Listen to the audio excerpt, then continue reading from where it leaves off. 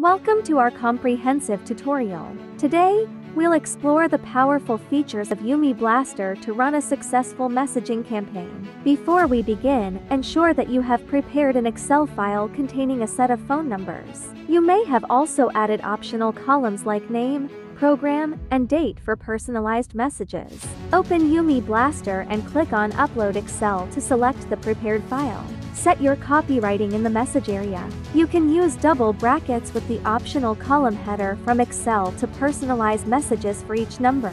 To enhance engagement, feel free to add buttons using the Add Button function.